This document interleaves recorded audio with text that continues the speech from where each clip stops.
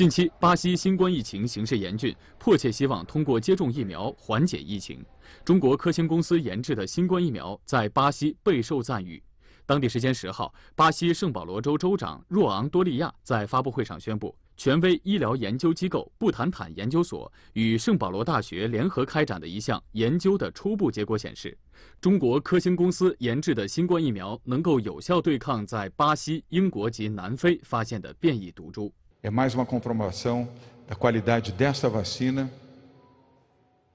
que hoje vacina 9 em cada 10 brasileiros em todo o país. 据路透社十号报道，巴西卫生部近日致信中国驻巴西大使馆，寻求未来三个月内向中方要齐采购三千万剂新冠疫苗，以确保巴西疫苗接种计划不会暂停。